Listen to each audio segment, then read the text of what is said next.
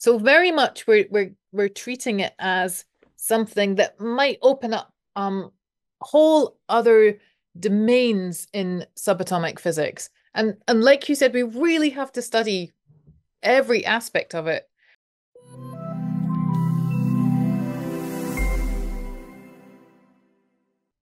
What's up, you scholars of enlightenment? Dr. Sam Gregson, particle physicist, here again. I hope you've had a brilliant week and have a fantastic weekend in store. Now, this week sadly saw the tragic news of the passing of legendary theoretical physicist Professor Peter Higgs. Today, we will be discussing and celebrating his life, work, and legacy. Peter's most celebrated work came in the 1960s, the development, with other physicists, of the Higgs mechanism, the mechanism that gives fundamental particles, like electrons, their mass. The mechanism proposes that there's an invisible field known as the Higgs field, which exists everywhere in the universe. When particles pass through this field and interact with it, they acquire mass, kind of like a cannonball feeling a drag when passing through a fluid. Peter's brilliant insight was to point out that if enough energy is pumped into that underlying field with a machine like a particle collider, that field should ripple and pop out a new particle, a smoking gun revealing the Higgs field's existence, the infamous Higgs boson. Peter Higgs gave physicists a way to prove the validity of the Higgs mechanism. They had to discover that smoking gun. 50 years later, they did just that at the Large Hadron Collider in 2012 and reduced Peter to tears. However, the discovery of the Higgs boson is not just an amazing historical footnote. Studying the Higgs boson will allow us to probe nature in new ways at both current and future particle physics experiments, and for centuries to come. Peter's work has provided a new window on our universe, one we are only just beginning to peek through. To help me understand more about who Peter Higgs was, how his groundbreaking hypotheses came about, and how the name Higgs will guide particle physicists for centuries to come, I'm joined by a phenomenal special guest, Professor Victoria Martin. Professor Martin is a particle physicist at Edinburgh University, Peter Higgs's old stomping ground. Her research focuses on understanding the intricacies of Peter's eponymous boson and its relationship to the other fundamental particles that make up our universe. She is a member of the Atlas Experiment Collaboration at the Large Hadron Collider at CERN, the world's largest collider, and has a keen interest in developing potential future colliders, such as CLIC and the Future Circular Collider, to unravel more mysteries of the Higgs. So I couldn't hope for a better special guest to help me understand the late but legendary Professor Peter Higgs, his phenomenally impactful work, and his enduring legacy. So, Victoria, before we jump into kind of the intricacies of the science and the intricacies of Peter Higgs's life, you knew the man. How would you describe the Professor Peter Higgs that you knew? Right. So I always describe him as an Edinburgh gentleman. Yeah. Which is, a, I think, a rather specific Edinburgh phrase. Obviously, it is, but a kind of a specific Edinburgh kind of person because Edinburgh is quite a sublime city, Mm, very pretty. I guess, to to live in. And the Peter I knew, well, I initially knew him as a teacher, so as as a lecturer, but the Peter I knew latterly after he retired was someone that really took advantage of the things that Edinburgh had to Mm. offer. So he would go to the Edinburgh Festival, he would go out to eat, he would, you know, go and have a dram of whiskey. he would he would go out for beer. He would go and look at the art with many, many good and free art galleries in, Mm. in Edinburgh. Um and in fact, I you know, I don't want to name drop here, but the, the place that you were most likely to see him was Waitrose. So I know quite a lot of people that bumped him into in Waitrose. so uh yeah, he he he really enjoyed living in Edinburgh. so it wasn't. It wasn't just. scientist. It wasn't just a place there to go to work. He really loved the city and engaged with the city. Yes, and um I'm I'm told, so I don't know this for sure, but I'm told that he chose to move to Edinburgh. He had uh there was different jobs opening at the time when he was he was looking for an academic position after after his PhD. Mm. And um uh, somehow with a few other people they managed to arrange it so they all got to move to which city they wanted to and peter had wanted to come to edinburgh i think at that point to be close to the to the mountains so so it sounds like he really loved those those scottish things a dram of whiskey walking in the highlands these are very uh, stereotypical scottish things i think you can do them in many places but but edinburgh's definitely a good place to do them mm. super so Peter Higgs, obviously a, a, legendary name in the field of particle physics. What can you tell us anything about Peter's early life? I did a little bit of um, research on this, um, and the reason I wanted to do this is especially for those who feel that that particle physics might be something that they can't get into or something that's impossibly hard for them. I, I gather that his his early life had quite a lot of upheaval. It wasn't it wasn't the easiest. Uh yeah, I mean so so I don't know you know I've never really spoken to him about that, but I I do know a bit. So he was born in in Newcastle. Yeah. Upon Tyne, and I think his father was working as an engineer for the BBC. Yeah. And they ended up. He ended up in Bristol yeah. after that. Uh, so I think a lot, a lot of moving around and upheaval, and a lot of missing school. He, he actually had to oh. do a lot of uh, home education. Um, okay, no, I didn't actually know this. Okay. I don't know this. Um So uh, everything didn't come to him very, very easily. Also, um, the World War was obviously on during his childhood, and yeah, of course, suffered from um, quite serious childhood asthma. So, not the easiest of upbringings. So, so we we see nowadays this this um, this titan of particle physics, this brilliant man, but really quite a quite a difficult upbringing when you uh, when you look into it.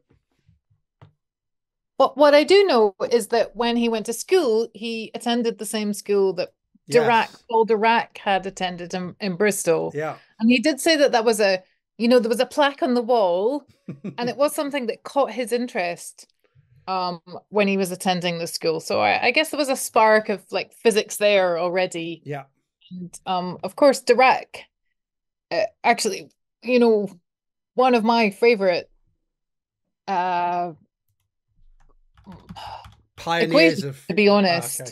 yeah it's well the the Dirac equation yeah. I, I love the Dirac equation and all the intricacies it has yeah um so definitely one of yeah i'd like to think if i had a plaque to Paul Dirac i would have been interested in that as well. So, so yeah that's that's exactly right. So he ended up in in bristol um, you know, moving around with his uh, with his father's work for the BBC as an engineer, and ended up at um, Cotham Grammar School here in Bristol from 1941 to 46. As you say, this was the same school that's attended by uh, Paul Dirac, who was uh, you know Dirac spinors involved in um, basically the the foundations of the Feynman calculus and and predicting antimatter as well. Um, very very accomplished theoretical physicist. Um, from then, he ended up at the uh, City of London School, where he specialised in mathematics. So the rather lovely City of London School here. Ooh, that does look like nice building to yeah, go to. It's a beautiful, yeah, beautiful building. And then on to the um, King's College in London, where he graduated with a first class honours degree in physics in 1950 and achieved a master's degree in 1952. And he did a PhD, finished in 1954, on uh, entitled "Some Problems in the Theory of Molecular Vibrations." Um, so, not a particularly easy upbringing. Studied hard, had a lot of homeschooling and a lot of difficulties to overcome, but then knew what he wanted to do. Went into mathematics and physics. Initially based down in London. Um, he then was appointed to a senior research as a senior research fellow at the University of Edinburgh before various posts at Imperial College London and University College London. So he seemed to flip back between Edinburgh and London before he eventually returned to Edinburgh in 1960 to take up the post of lecturer at the Tait Institute of Mathematical Physics. So he seemed to flit around between uh, London and Edinburgh before, as you mentioned, finally setting down in Edinburgh and uh, and uh, weighing anchor there. I think it's interesting that his actually his PhD and um some of his work at that point wasn't in particle physics. Yes.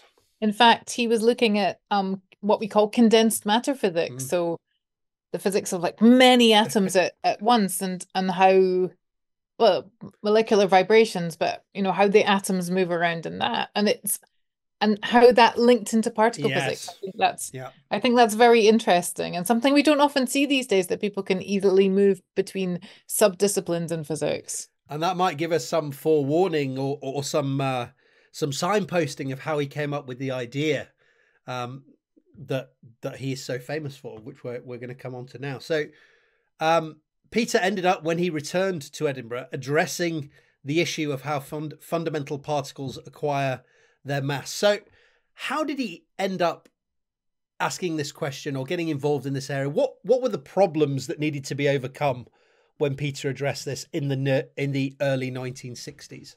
What was the problem with mass?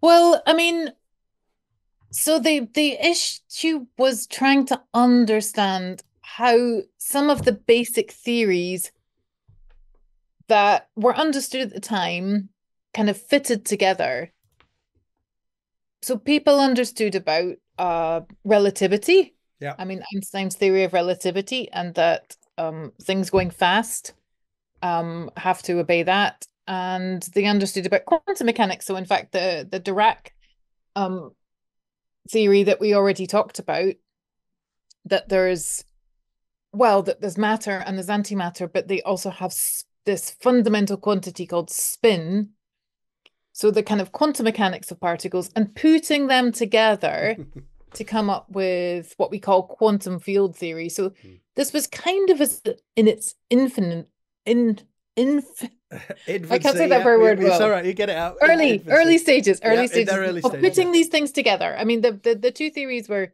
were kind of understood separately, but putting them together. Yeah. And um Nowadays, something that we rely on a lot in particle physics, but at that time was kind of not really in vogue right at the start, as you said. Yes, in fact, it's right. Yes, so there was there was lots of people were looking at different ways um, to to describe these particles, and and this one that we use, um, quantum field theory, was was one of the options, but mm. wasn't indeed the most popular one mm. because it couldn't explain some things, and and one of the things it couldn't explain is why um the particles have mass, why they have weight. Yeah.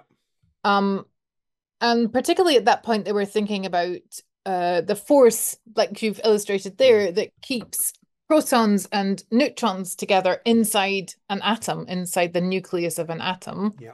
So this is the thing we call the strong uh force at the moment.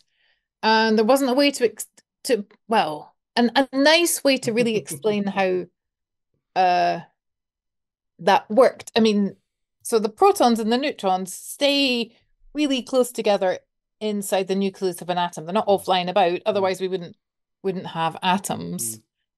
And that's a, a, what we call a short range force because it only is really experienced over this really tiny. We're not we're not all blobbed distance. down into a massive super nucleus, so it must only be over a short range. Thankfully for for us.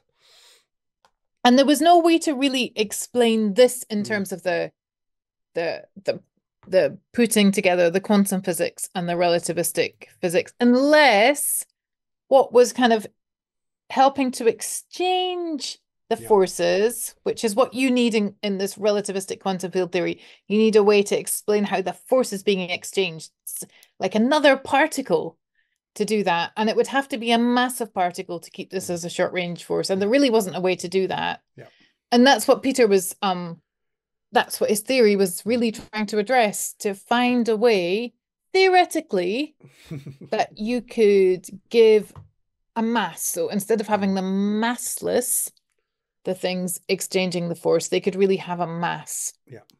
So this so this short range this short range force the the the framework that they had was telling us that the, the particles that are exchanged to to create this force should be massless. But the fact that it's so short range indicates that it probably has a mass. And we can think about things like pions being exchanged in the strong nuclear force nowadays. But at the time, it was like, how, how do we get this mass in there? Everything is telling us that these exchange particles should be massless, but the nature of it tells us that it they must have mass. They they're constrained in distance. They must have a mass, and trying to marry those two together, as you say, was was proving very problematic. Yeah, That's right. And actually, Peter used some ideas that he knew a bit better from his his previous work, Yes. really in condensed matter physics. So, um, looking at superconductivity, where they had managed to solve a kind of adjacent problem in an superconductivity. So, it- in superconductivity, you still have something moving around, um, not, I guess, not carrying really a force, um, anymore, but carrying like electric charge. Hmm. But so something that's moving through the medium and and carrying information between one thing and another thing, one area and another area. So it, it was related to that, and he managed to see the connections Mm. um, between them. And in fact, he- there is a story there that one of his jobs at the Tait Institute of Mathematical Physics, where he was based, was to open up the new box of journal publications that came every week. Oh wow. Um, so yeah, I mean, nowadays we as scientists, I mean, I can get an email every morning. It just goes on the arXiv and it's yeah, just the they just appear in my inbox, and and if I have time, I I browse through them, and sometimes I have to say I just delete the email without reading them properly. But there, you really had to open up a box and put them on the library shelf, and so, so someone was responsible for opening up the box, um, and putting them on the shelf, and just browsing them to see if there's anything useful. And it was it was Peter's job to do that, Wow. and so he got kind of first sight of all the papers Wow. which was apparently a really uh fortunate position and I guess a very privileged position to be in that you could see them before anyone else. You're So, kind of you're kind of watching the the cutting edge of the field coming to you first yeah, of I mean and- it's yeah. it's like Twitter coming in a box yeah. like every Yeah, week, something like that. So um yeah, and I and and that so he saw those papers come in that that kind of inspired his thinking and he managed to put things together so i don't think it's it's too um wild to say that you know it was an idea when peter came up with it in 1964 whose time had come Yes. I mean, it, but he managed to do it as one of the first people. There is uh, always the discussion about the order in which We're, we're, uh, gonna, we're gonna were get onto that a little bit. Don't We're gonna get Yeah, onto that. Yeah, yeah. Okay, but uh, yeah, but yeah, that that opening up the box and seeing the new publications every week was really really useful for him.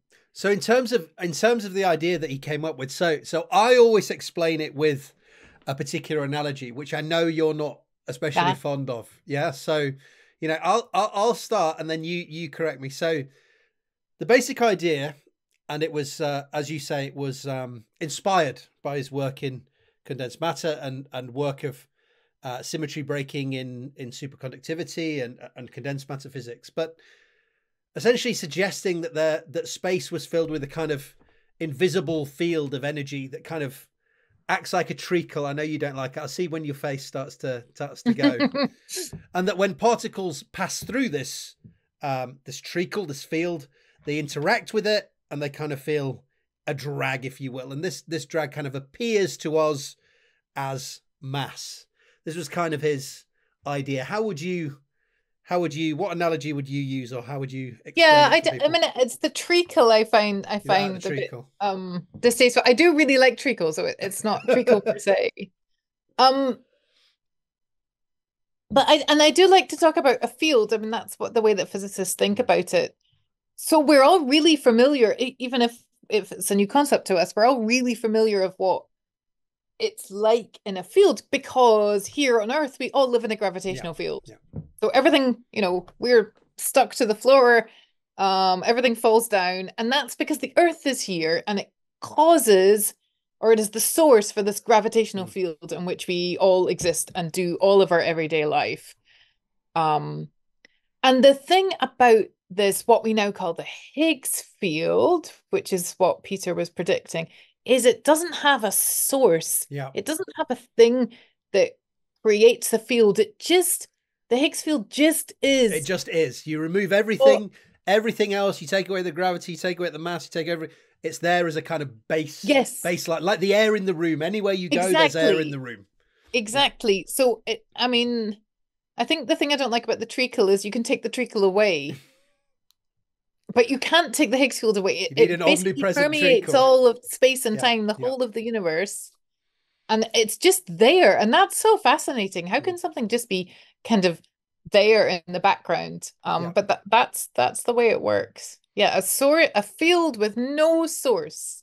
it's a very uh it's a very radical radical notion and yes and when particles interact with this this field in the background they appear well they do acquire their mass and this this was this was peter's idea so started off thinking about the the strong force and how to solve this problem of uh, how to give these uh, exchange particles mass and actually had no application in the end to this strong nuclear force, but became very, very important in giving exchange particles their mass. So, how was Peter's work initially um, thought of by the wider physics community? Um, you said this was a hypothesis whose kind of time had come. There were other people working on this at the same time. But I believe the initial papers that he wrote, um, at least uh, an expanded version of them, were initially rejected, and and kind of the papers went kind of unheralded for quite a while. Is that is that fair? Well, yeah, I th I think the so this is where my my memory and, and detail gets a bit hazy, but indeed one of the papers was I I don't think it was rejected, but it came back from the referee and said, you know, this is all very fine, but have you thought about this enhancement? And that was the the second 1964 Mm. paper. And that the enhancement is to say, oh, and by the way, yes. that if this is true, there would be a scalar particle yeah. associated with it. So Yeah. that's the thing we call the the Higgs boson, um, as well. But so they were published, but they weren't seen as maybe particularly relevant at the time. Like it's it, it, it, th- mathematically, theoretically, um, It works the- and it's nice and yes, okay. yeah, the concept works. Yeah. That there's nothing wrong with it, but it didn't seem to have any application to reality. And Yeah. I mean, that's a fun thing in theoretical physics. You can come up with an idea and you can show that Yeah. it's it's mathematically consistent and that would have certain predictions. But if experiment doesn't see that, you know, it's just it's just a nice idea. So it, I mean, it wasn't re- there wasn't any proof that it didn't work. It just Yeah. didn't seem to have any relevance. And um, um, that's what it was. Though on the other hand, Peter did go and keep working on this for a bit. So he visited a university, um, I think it's North Carolina. I really should remember this. Um, Chapel Hill. So he did actually develop the theory a bit more about the Higgs boson, Mm. which is this excitement excitement of the field that he came up with. And there's some very nice predictions in that paper, but still it was just seen as a, Mm. You know, this is a, a nice idea. And in fact, people thought it's a nice idea, not really relevant. But even if it was relevant, we just cannot test it. There is Yeah. no way to Yeah. test this theory. And then as a theorist, your theory is kind of dead and irrelevant if it has nothing to say about reality. So it, you know, it it didn't really cause much excitement, especially for the first um couple of years Yeah. after it was done. It was only a bit later than people really saw the relevance of it. So, so in 1964, he's writing these these short QF2 QFT papers. As we said, quantum field theory kind of in its nascency, not really in vogue, probably not taken as serious as it could have been. Um, the first kind of version of this was sent back and said, you know, "Oh, you know, kind of sex it up a little bit if you can. And then the amazing thing that that he did, which which actually will feed forward to his name being on these particles or on the on the Higgs boson and, and on the Higgs field is that he had added this idea that that field in the background that you talked about that omnipresent field can be excited and pop out this little Higgs boson. This Higgs boson therefore becomes a smoking gun an experimental smoking gun to try and show that that field is there in the background. So this was Peter's great uh, contribution I like um, to point to and I'm sure you've heard this um, Peter's kind of words on this at the time, where he said, This summer I have discovered something that is totally useless. So, uh, obviously didn't didn't overhype him overhype the work himself at the time. No, no, and I, you know, I think that's when someone realizes that they might have got something that's interesting for them, but yeah. it has potentially no relevance further on. I, you know, I think that's the sign of a good scientist yeah. because they're not overhyping themselves. They're like, I did this, you know, let's think about something else now. That's right. And, and and you're you're right to mention though this was an idea whose whose time has come. There were other groups working on this um, at the same time. So there was Englert and Brout were working on it at the same time. There's also another group which was Guralnik, Hagen, and Tom Kibble. So there were a lot of people working on this idea at the at the time. So there was a small kind of group of people who were taking this very seriously. Um, I think John Ellis over at over at CERN wrote a um, theoretical paper on how this thing could be potentially discovered at a future particle collider. So there were some people who took this seriously and thought it really was an important thing. But as you said, it didn't really uh, take hold for quite a few years. So when did the the Higgs mechanism and this idea in his work really begin to be taken seriously? I guess this was when we kind of come to electroweak unification in the in the late 1960s when yes yeah. i think that's when it was first kind of invoked as a way now to... we can use it to solve another problem and suddenly yes. it's really interesting yeah yes so specifically on your diagram here this this w you have is the w boson and we know that the W boson is short range. And again, that means it has a mass. Yeah. And uh, it was this, you know, it was the same uh, problem. Well, back to the same problem again, like the like the um like the. So it was um, the same solution. Yeah, yeah. And I think that's the first time it, it it was really thought to maybe have more more use, but also I mean back then that this idea of this electromagnetic and weak unification, I think was also kind of fairly speculative. It's again a nice theory that seemed to work, but yeah, it, it, it maybe seemed to be more useful than just the the Higgs field and the Higgs boson, but um yeah, it was it was still something that was, you know, a nice idea. But it did start to bring this idea of quantum field theory kind of back mm. into vogue because it did it did work for this and it did start to solve I guess this theory of electroweak unification managed to start solving more problems than it introduced. Let's see. So this is, I think, when it became a bit more popular. So that was Steve Weinberg's um, theory of electroweak. Yeah, so we're starting to talk about about kind of um, Glashow and then and then uh, Glashow, Salam, and Weinberg. Identification. I'm sorry, that's my Siri speaking to it's me. all right, don't worry. The um, so yeah, so so in the kind of the late '60s, the early the early '70s, people were trying to put together these these two forces, which seemed uh, originally to be quite disparate. So the the electromagnetic force mediated by the photon, the weak force mediated by the the W and Z. But how could we get these to be part of the same framework? And as you said, this went through the Higgs, through the idea of electroweak unification, and we could come out with the right answers and put these two forces under the kind of same framework, under the same hat. But to do that, you know, we won't get into the grisly details of how you do that, but to do that, you needed to rely on some of Peter's works and some of uh, Peter's ideas. So, as you said, we've now got something that seems to solve multiple problems, and, and people suddenly sit up and they start to take more notice um, of this work from Peter. So, obviously, you, you mentioned it's all well and good having all of these theoretical predictions.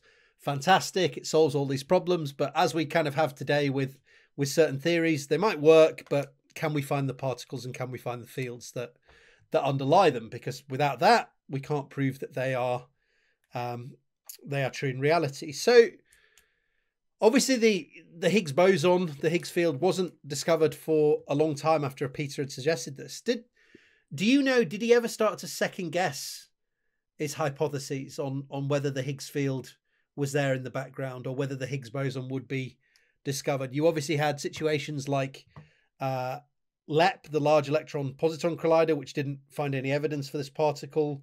Um, the Tevatron later turned on, didn't find any evidence for it. How how did Peter feel throughout those throughout those years?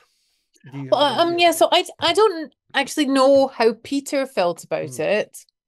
Um, because I mean, I met him when I was an undergraduate student, and then he retired just as I Mm. um became a PhD student, and I probably saw him now and then because he would come in, but I think I didn't really speak to him about it until we were really Right. on the verge of discovery. But I can tell you how the the rest of the particle physics Please do, community, please do. the way that I think the rest of the particle physics community thought about it.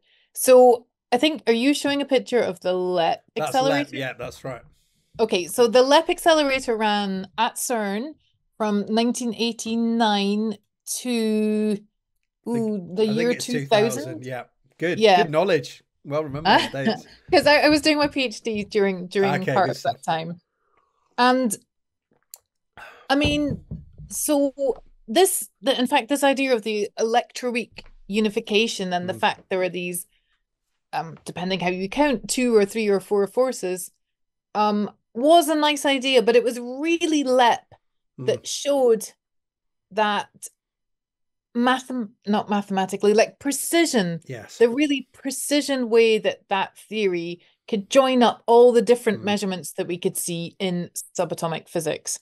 And I think it was as it was becoming really clear that this electroweak theory was the right one Yes. That people thought, ah, so there must be the Higgs boson now. So even though we haven't specifically seen that Higgs boson, we can see its indirect effects of this theory in precision, other precision measurements, which is kind of almost a, a- an indirect look at that. It, it kind of must be there. People started to feel that this this thing must be there. Um, yes, and I that I think that's when the confidence Hmm. came. Actually, there there was an experiment. I, I know one of the first experiments to kind of directly make not a measurement of the Higgs boson, but Mm. directly exclude some of the potential masses Yes. was one that um colleagues here in Edinburgh, I mean, before I was a PhD student, worked on, which was the NA31 experiment. So it was looking um, mainly focused on something else completely. But if the Higgs boson was pretty light, it would have um, decayed into a pair of electrons or a pair of Mm. muons. And that experiment that was mainly looking at something else um, managed not to see that pair of electrons, a pair of muons, and managed to to rule that out. So that's I- just I- one of you, those. you- I'm sure you'll remember, like me, when I was doing undergrad, these these massive diagrams with loads of lines going everywhere, with Higgs mass on the bottom, and then all of these branching ratios that sort of went all over the place, depending on what the mass of the Higgs might be.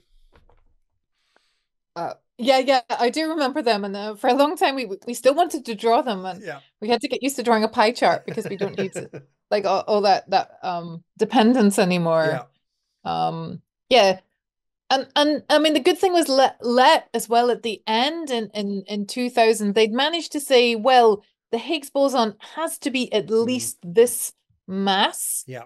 otherwise we'd have seen it already. But more of that, and you've you've already alluded to this already, because of all the indirect effects, Yeah. they actually had a um a range Yeah. of masses they thought the Higgs boson should be. And if I remember correctly, it was about a hundred and fifteen Yeah. giga electron volts. So the giga electron volt is about the mass of one proton. So it was between 115 and something like, ooh, I want to say 237. I'm probably making I've that got, got it on your. maybe can, 300. Can you see on the screen now? I think I think they've got between Ah. like one one four and one eighty five, or or maybe it was two hundred, depending on the the measurements that you're using. But yeah, somewhere in that range there between you know 115 and a 200. So we narrowed down the range. narrowed the search range down Yeah. as well.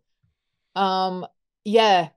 And and then I actually went uh so after I never actually worked directly on LEP, but I was at CERN for a long time while it was running, and a lot of the people I knew were working there. Yeah. I actually then went to the Tevatron, and I went to the Tevatron, um, which is the one illustrated in in orange there. Is Yeah. it? Yes. Um, uh, to go and find the Higgs boson. Um, so the Tevatron was a proton proton collider. Oh no, a proton anti proton Anti-proton. collider Yeah, yeah, yeah. Um at Fermilab, which is just outside of Chicago in the USA. And um in the end it didn't really have enough protons um to do that. they, they they couldn't turn up the proton intensity crank as as much as promised. Um, but yeah, that's I went off to find the Higgs boson, and that really was inspired by Peter, like by knowing Peter, mm. and um, I guess I was having that spark in my mind that that's what I wanted to do because he was such a nice guy. Yeah, and if that existed, we needed to find it for him mm. because you know we need nice guys in physics. so so by this time, kind of, you know, two thousand, we've really really narrowed down this this. uh this mass parameter space of where it could be. Now you can look at that in two ways. One way you can say, "Oh, brilliant! We've done all of these measurements, and now we know exactly where it's going to be." Or you can say, "There's not more. There's not much many places where it can be. So we better we better find the damn thing in the." Uh, in the uh, in, in the data at the LHC. So I've got a nice uh, quote from Peter here actually. So regarding the kind of original question that I asked about him maybe worrying that this thing wouldn't be found. So this is from um, I believe around 2011. And he said, I had faith in the theory behind the mechanism as other features of it were being verified in great detail at successive colliders. As you've said, it would have been very surprising if the remaining piece of the jigsaw wasn't there. So it seemed like he was seeing it in that first instance where, you know, it is there and we're narrowing down where it can be. So he he remained quite positive. Uh, but remember that this is like what 2010 or something. Yeah, 2011. This yeah. is yeah that oh yeah but this is like what four decades after that first prediction. So yeah. you know it's i mean it, it seems like a great it is a great quote but it, you know it's taken so long to get there. Yeah. such a long career. He's even retired by this point. Yes. Um so imagine have keeping the faith all the time but that's the you know that's the greatness of of physics uh it works. And it's such an amazing it's such an amazing this this story of of the discovery of this particle. This is why it's so amazing is because it's such a an amazing human story as well of someone, you know, waiting and sitting on this for 50 years just waiting for this particle to be discovered. And and that's the next kind of question I wanted to come on to. So we come to the discovery of the Higgs boson during the LHC's first run in 2012. What was Peter doing by that time. We're now nearly 50 years after his initial prediction of the Higgs boson. So where is Peter at this time?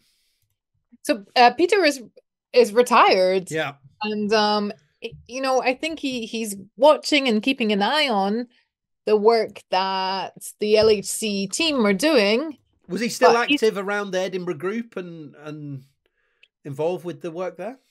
Uh no, no. So he he was a he is was I guess now, dear, a theorist. Um so he you know, he would come into the department mm. now and then um and have a chat to people, but he wasn't working doing the data analysis and he wasn't um doing any more theoretical calculations, but he was there as a great um source of inspiration and support and he was a really good mentor yeah so you know you you would often see him mentoring some of the younger students who would go up and um ask him questions about well about his career and about mm. keeping the faith and yeah. about you know being a, a good physicist and and how one did that and not just a physicist but you know also being a physicist at the same time as being a human being so uh, he was there as an inspiration and a support, but he he was no longer active at hmm. in you know doing research at that time, and he was um uh, they said he started he to work in uh, a little early 80s at that point. So yeah, yeah, it must have been.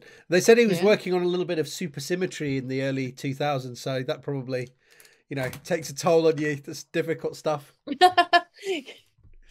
yeah, especially when it's not coming off at various uh, at various places. But he, I, you know, he'd done the Higgs boson. What what what more was there to do? Yes, there was the supersymmetry. I think that's one of the natural yeah. follow-ons. But uh, yeah. I, he had, I, you know, he had played his part already. He, he very much had, and and I and I love this. I love this quote from him. I want to get your your kind of reaction and how you think of it because it's a very uh, classic quote that people always come up with, um, and I've seen it a lot this week. So Peter uh, continuing to kind of work in the theoretical field after the prediction of the Higgs working a little bit, dabbling a little bit in supersymmetry. When he retired, um, a little bit after he'd retired, he said he wouldn't have been productive enough for today's academic system where academics are expected to continue to just churn out papers again and again and again. What is your reaction to that? He always seems to be incredibly humble and reserved in uh, in what he says to the media and uh, the wider world. So yeah, I mean, I, I think if you look at his publication record, it wasn't as in in terms just of the number of publications, it wasn't as prolific as the average academic these days is expected yeah. to be. So we we as academics are, you know, asked how many outputs, which for physicists is generally papers, we are doing like every seven or eight years, and we're all kind of not ranked against each other, but there's a kind of metricization that now yeah. goes on in academia. Yeah. To, to see who should be doing it. H and, everywhere and people, you know, showing those around and things like this. Yeah, and and citations are also important. So Peter, mm. I guess at the beginning wasn't because there's the Higgs idea, you know, wasn't very fashionable. Yeah. At that point, he wouldn't have been getting the citations. Yeah. So, uh, yeah, I think it. I think it's true for you know for that period, um, in the sixties and seventies, um, uh, before before the experiments really started looking for it, it it may just you know someone like that in this position these days may have been suggested that perhaps they're not pulling their weight in terms of research and being asked to do a lot of teaching or a lot of yeah. admin and not given the headspace to yeah. to really think um so i think it's a very uh, a very honest quote and i'm very glad that people well there wasn't metricization there but there were some really open-minded people that understood that sometimes people really do need the time um to think and they can be productive in a way that is not churning out papers or visiting lots of conferences or giving talks or something like that. And he was supervising PhD students, and a lot of his PhD students whom I've met have been very successful. Um, and I always, you know, personally, something I'm uh, always take very gratefully is that I've had great PhD students, and they've gone into great careers both in physics research and outside of physics research. And and uh, Peter was definitely doing that as well. If he wasn't always producing papers at the rate that that these days a university would like. Yeah. So we so we come on to finally after all of this time the the particle is discovered. How did Peter respond to this? Because there are certain classic stories that go into the law that that he kind of disappeared or tried to disappear off to the uh you know, and, and kind of avoid and av- avoid this thing. So, so obviously, the the before the before the giving of the Nobel Prize, obviously the this comes out from CERN.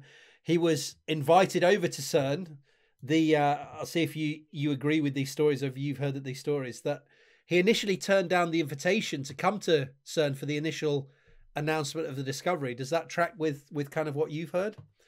Yes, he was actually. So this was July mm. um, or end of June, I guess, um, 20, 2012.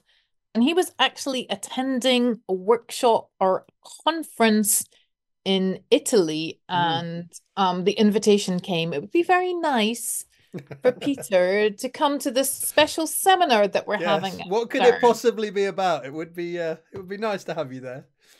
Um, so I think at first maybe it wasn't clear that this was going to be it. This yes. was going to be um the discovery but also because because he was an older gentleman i think we've already yes. said he'd been in his 80s at that yeah, point. of course yeah. Um a travel insurance was not like super forthcoming.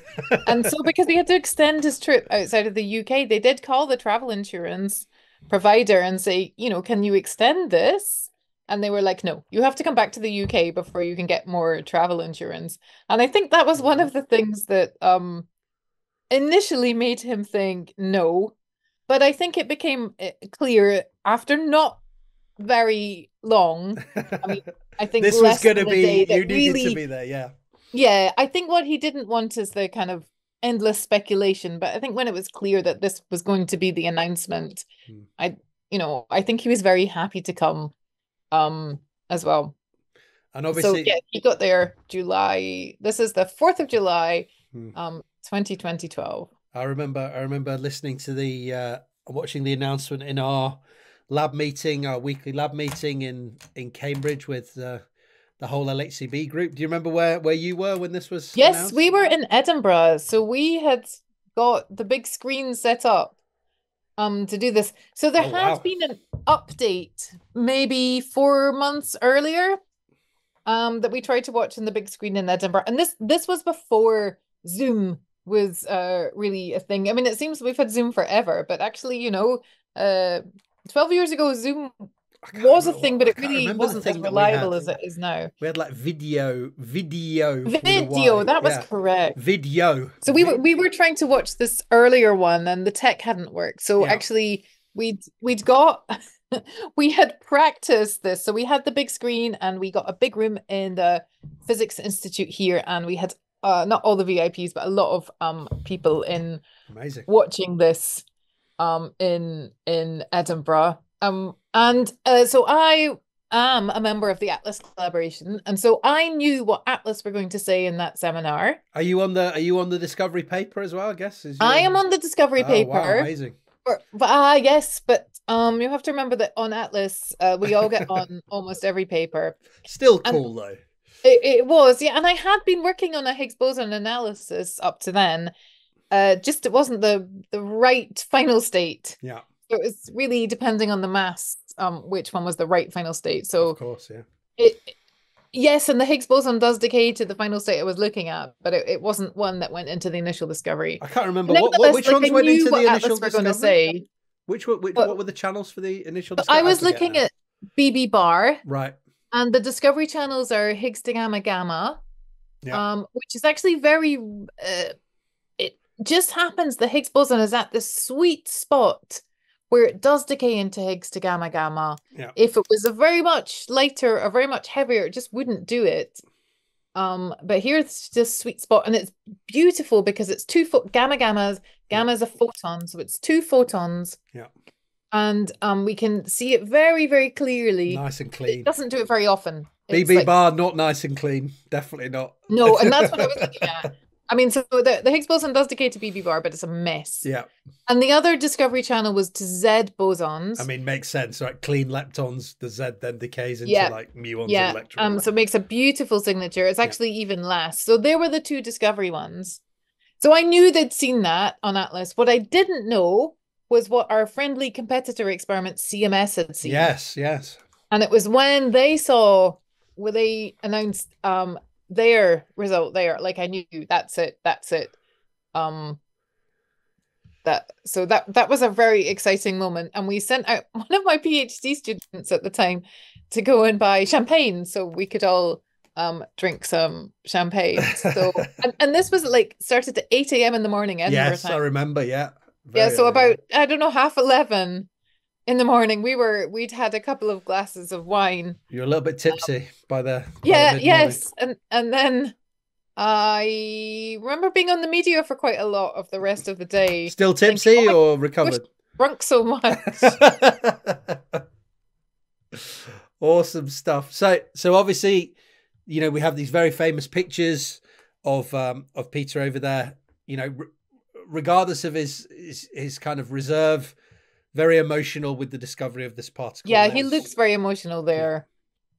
brought him to tears, which is which is very understandable. It's the culmination of a of a life's work, and maybe thought potentially he wouldn't he wouldn't get to see its discovery in his lifetime, and he he fortunately um, got to do that. So, uh, in 2013, as many expected, Peter Higgs was then awarded the Nobel Prize. Uh, in physics, along with Francois Englert, it was also going to go to Robert Brout, but unfortunately, he had uh, passed away. Um, another story that I've heard here is that Peter kind of preempted that this might be the case and tried to uh, tried to skip town when this uh, announcement was coming out. Can you can you tell us anything about? Yeah, that? yeah. So I, I do know a bit of the story. He did want to skip uh town. Um, but I, I can't quite remember the detail, but somehow his car wasn't up to it at the time. That's Um, the story I've been told as well. I tried to get out of so- town, but the car wouldn't wouldn't cooperate. Yeah, so he couldn't quite leave town, so he just he went out for lunch. Mm. Um, to you know, I I said he really likes living in Edinburgh, so he went out to a nice restaurant for lunch, um, on his own, and did that. So, uh, if you look up the university directory back then, uh, Peter Higgs would have had uh, a phone number. Yeah. Um, and it was the phone number of an office that one of my colleagues uses. So it, you know, Peter's up shared an office with someone for Mm. the days that he did come in. So apparently they were calling my colleague in that office, who I think was away as well. Um, so they couldn't get through to him on that on that phone either.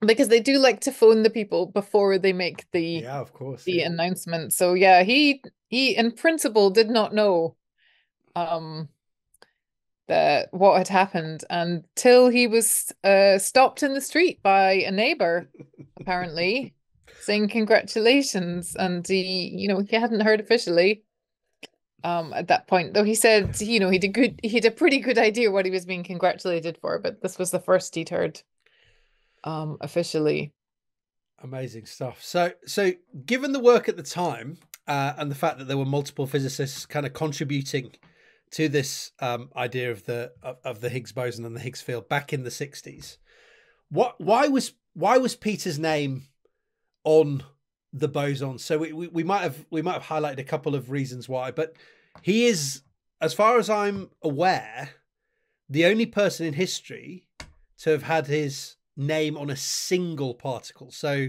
when you think about people like Fermi with fermions or, you know, Bose with bosons, but a single particle, I can't think of any other examples apart from Peter Higgs. This is a, you know, very, uh, a huge honor to be, uh, to be singularly named for a particle. I don't know if you can think of any others. Maybe uh, people watching can put them down in the uh, in the comments Mm. if they can think. But I can't think of another one.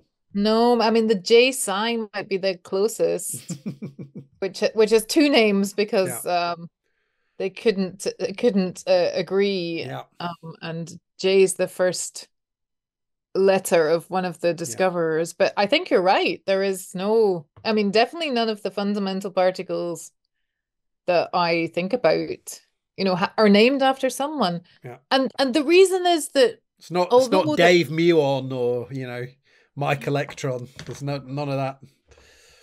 the reason that although that Brout and Englert and um Kibble, Guralnik and Hagen all had the same idea really around the same time, Mm, Peter was the only one that made that extra step to say, well, if this theory is correct, you would also get this scalar boson. Yeah. so this this particle.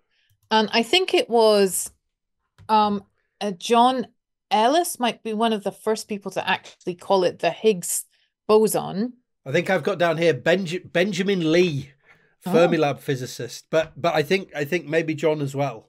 john probably popularized it then as I wouldn't the be surprised. Wouldn't as be the higgs surprised. boson but peter himself would not call it No. the higgs boson I've got he- down here. He called it the A B E G H H K H mechanism.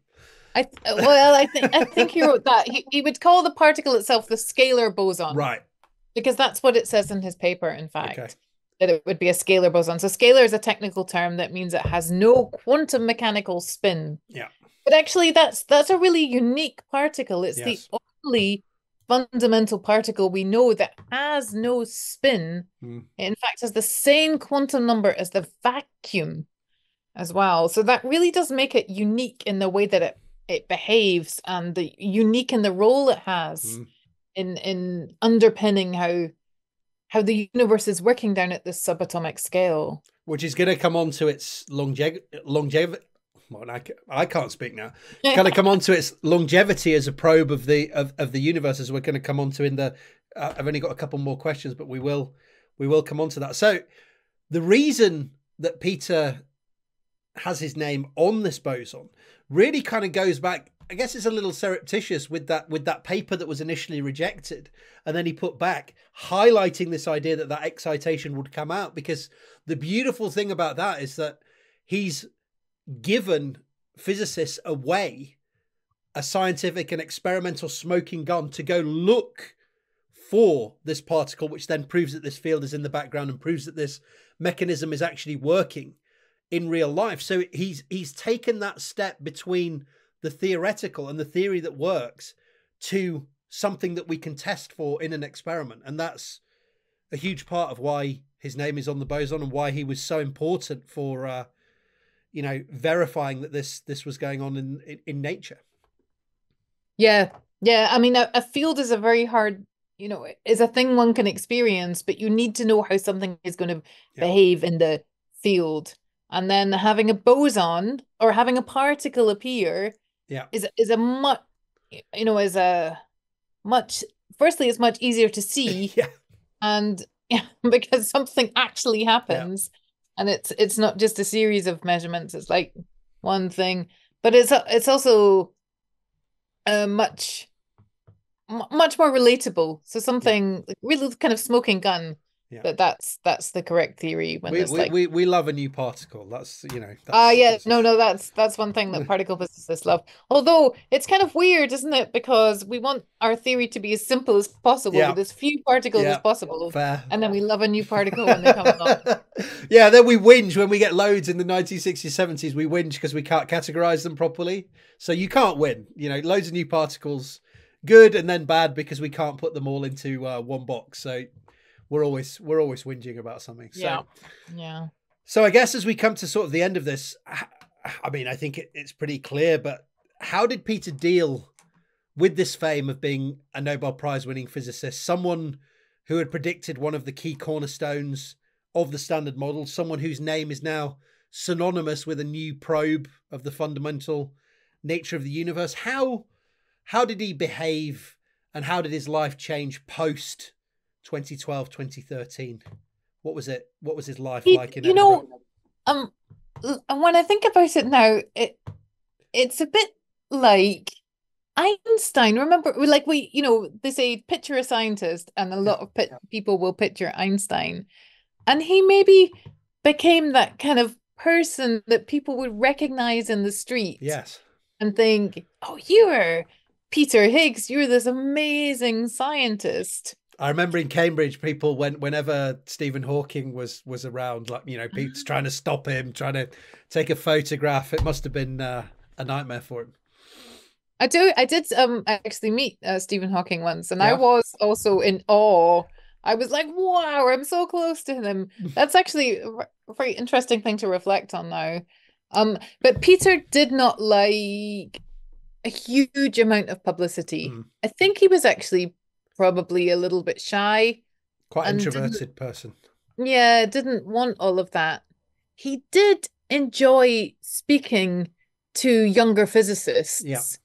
Um, and he did enjoy encouraging them and giving them some advice and just having a chat. It's, it didn't need to be about physics, just, you know, again, about life and how to put different aspects of your, you know, your life outside of work so just uh, just kind of an incredibly friendly person and generous with his time and his advice for for people who yes. are trying to follow through in the field. Yeah, absolutely, absolutely. So, um, but it, it wouldn't like a pylon as we'd call it now, and I, I've seen several times like a physical pylon, maybe like you um saw with Stephen Hawking, like people just crowding around yeah, him, yeah. and he wasn't very comfortable with that. Yeah. But he, you know, he was very happy to speak to people um about what he'd achieved and give advice when it was asked for. But more kind of maybe one on one or in small group rather yeah, one on one and in small groups. Yeah, and a lot of people would ask, and he was very generous with his time to, time to do that. Um, yeah, to share with them.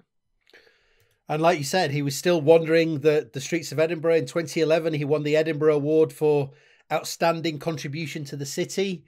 Um, he turned down a knighthood, but in 2014 was named a Companion of Honour by uh, Queen Elizabeth II. And uh, he says, uh, a nice quote, that he simply learned to say no when uh, people asked him for autographs and pictures. So I think he started off going for that, but um, eventually I think it became a little bit too much, which I imagine is I imagine there's kind of again like uh, you know talk about um, symmetry breaking, there's probably some sort of level where the cutoff becomes, you know, I quite enjoy doing this every now and again, an autograph, and then just being asked all the all the time where you have to kind of start to say no.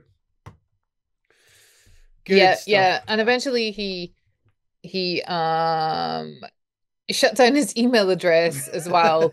he did have colleagues that would go because he did get a lot of email, you know, speculative things and, mm. and nice things as well, of course. Mm. Um, but yeah, um eventually it was just it was too much for everyone to to deal with so he just deleted his email address and there you know people could still get in contact with him but they'd have to go um through s- several intermediaries um to do that as well and people used to print out his, his email for him yeah and um because he didn't have a laptop at home and uh you know and then sift through it and say well you know these are triage it, I guess. These, these are the important. You know, these are the important yeah, ones. Yeah. Maybe you want to look at these, and probably not worth your time reading through all of those emails. But even that became just such much for uh everyone to deal with not just peter but the people helping with his email and hmm. sorting his email so yeah eventually he stopped that as well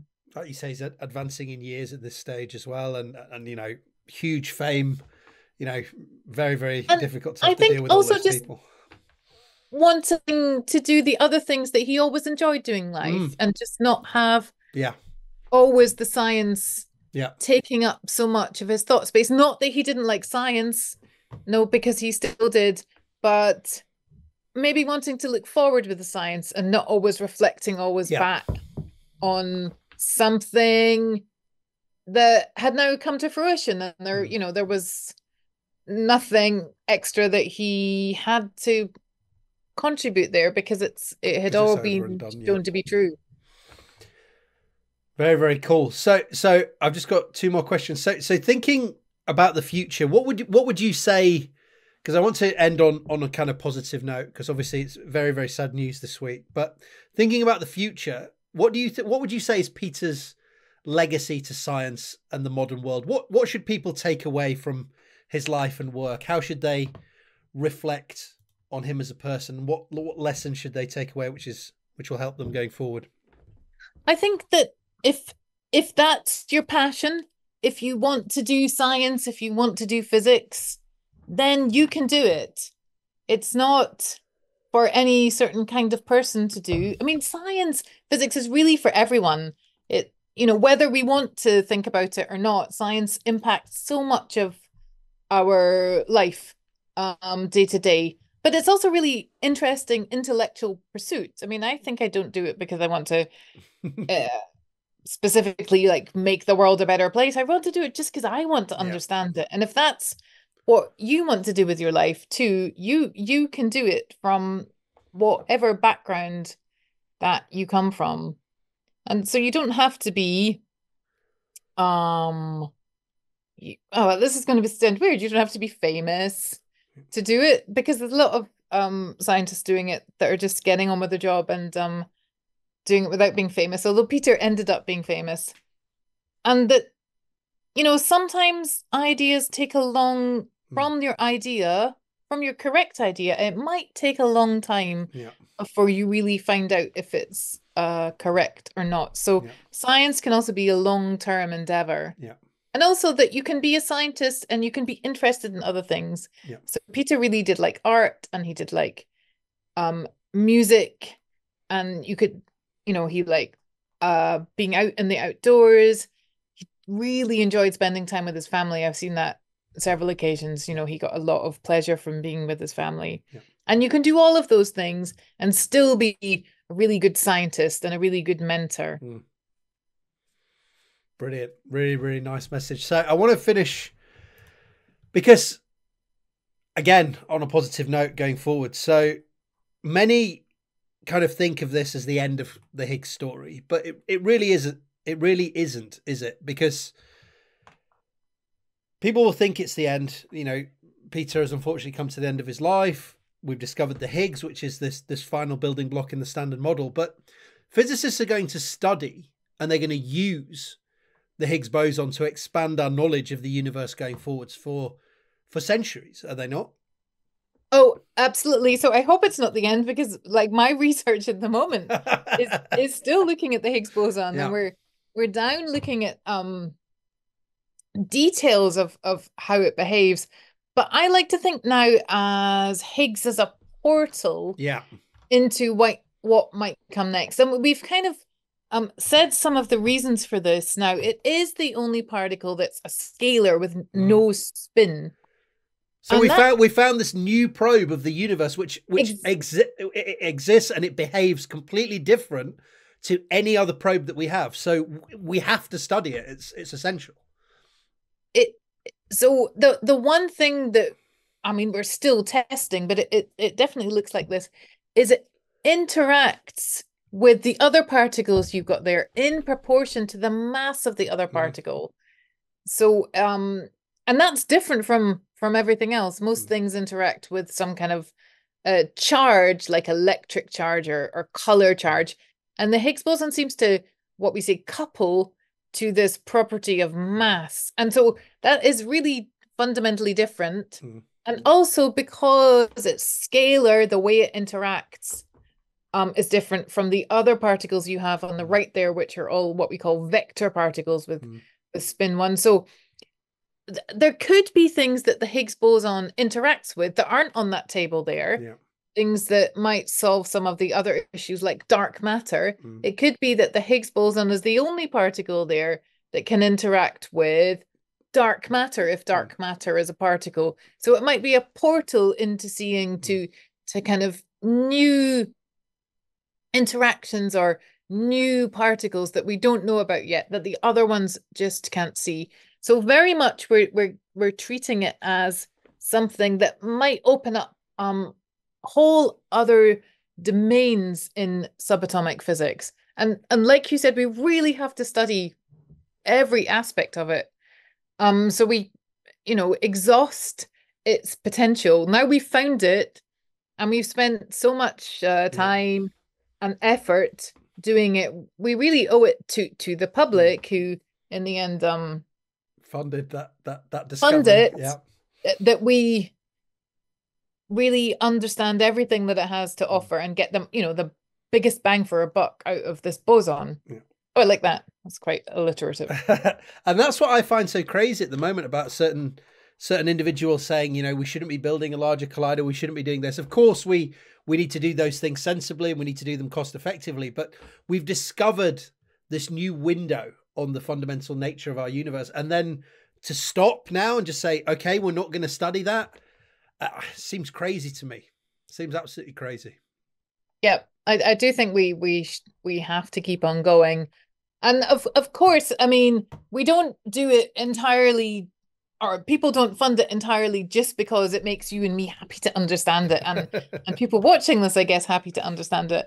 But there there is impacts for wider society when we when we do this research, um, that everyone gets to know and use and um appreciate, even if it's not obvious, it came kind of originally from doing fundamental research like this. And you mentioned you mentioned their potential portals into potential interactions with dark matter.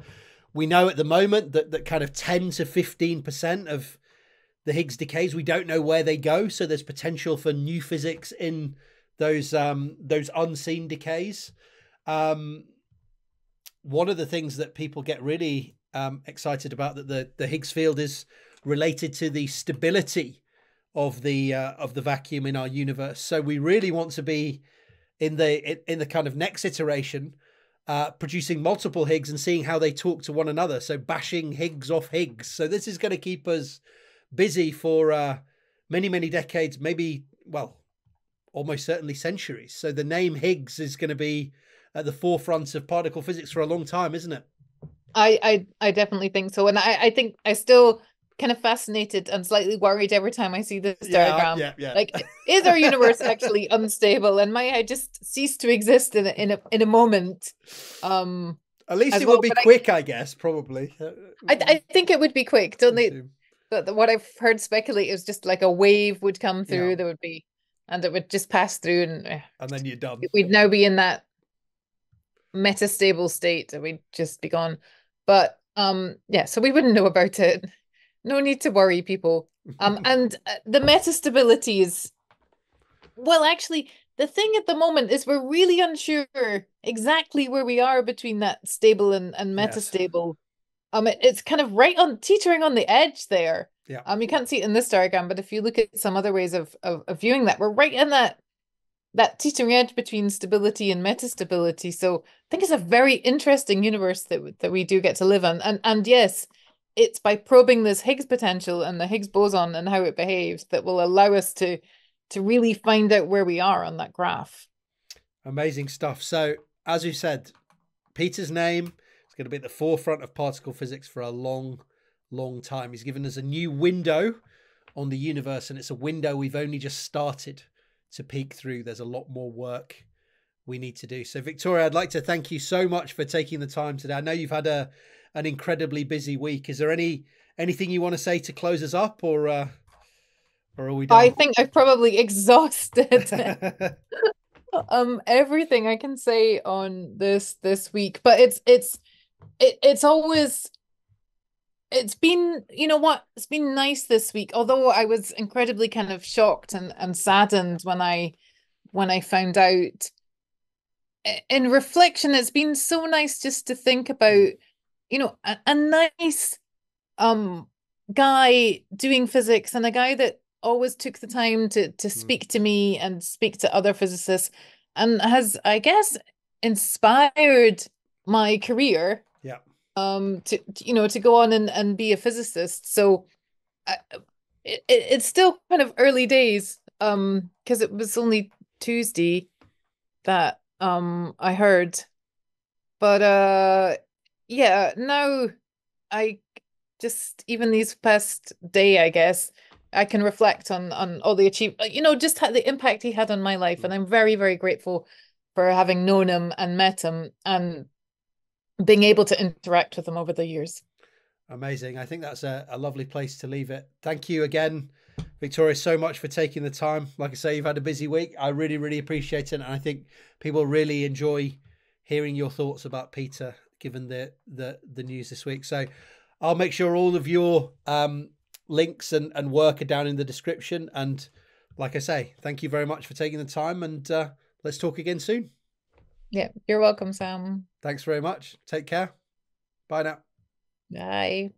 I want to know what you think because you're the scholars of enlightenment that I do this for. So please take a moment, if you wish, to let me know down in the comment section. And if you like this video, please consider leaving a like, subscribing, setting up notifications, and sharing this video more widely.